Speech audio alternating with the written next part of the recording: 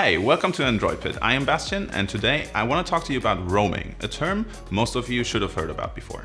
But what does roaming actually mean? Well, literally it means wandering or moving around. In mobile communications though, it means that you're using a device in a host network and not in your parent network, so the network you're using every day at home. There are two types of roaming, international and national roaming. And these two situations are also divided into two types of roaming, voice and text and data roaming. How does roaming work?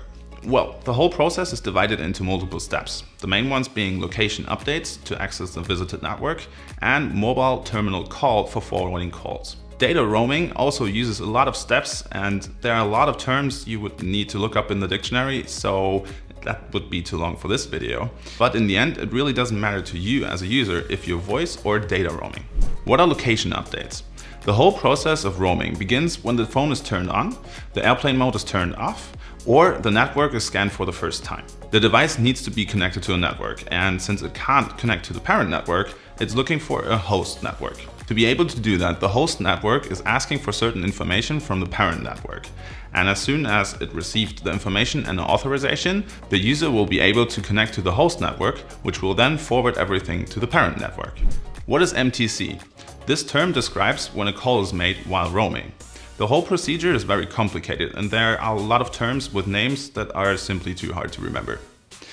All you need to know is that every user is getting an MSISDN, Mobile Station International Subscriber Directory Number. With this number you can always tell where the phone call is actually coming from, which operator, which country and which user. What is national roaming? National roaming means, well, you're roaming while you're in your own country.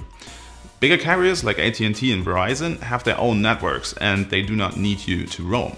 But if you're living in a rural area and you're using a smaller carrier, it's absolutely possible that they use the networks of the bigger carriers. There's actually a second type of national roaming. If you're using a mobile virtual network operator, also known as virtual operators, you're always using a network from the big carriers because they simply don't have their own. How about international roaming? Well, international roaming works pretty much in the same way.